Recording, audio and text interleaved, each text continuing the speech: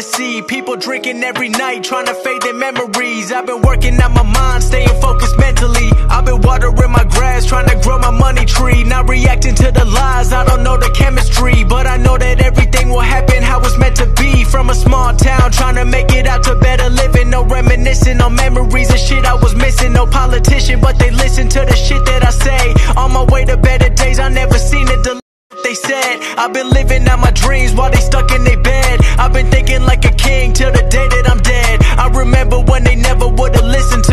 and now I'm everything that they ever been wishing to be. I've been working overtime like every day of the week.